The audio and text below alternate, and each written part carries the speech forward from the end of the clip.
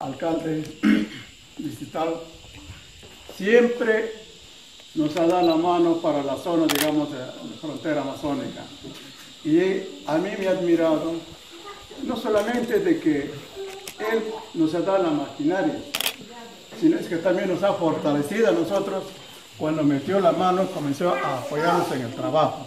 Y eso vale bastante. No, no solamente es decir, que eh, un poder, un representante, un señor alcalde que diga, acá está la maquinaria, hagan lo que usted desea. Él ha metido la mano, hagamos, dándonos la muestra, digamos, de que así nos, nos, se ha levantado la moral a, este sitio.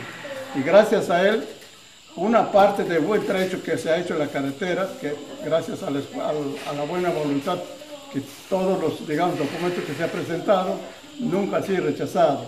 Quien sabe ha sido demorado, pero no ha sido olvidado. Y de eso yo solamente le agradezco. Y por otra parte, le voy a dar también otra, otra, otra chambita más.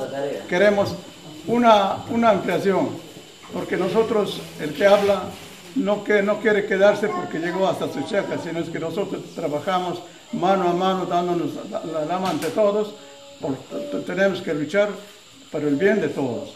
Entonces, señor ingeniero, su venida acá a, a Centro Poblado, al, caserío de César Vallejo, ha sido muy importante, muy necesario para poder, digamos, entablar eh, en, cuanto a las conversaciones que cada uno tenemos nuestras inquietudes. De mi parte, le agradezco y deseo siempre su buen éxito y su digno trabajo que está realizando.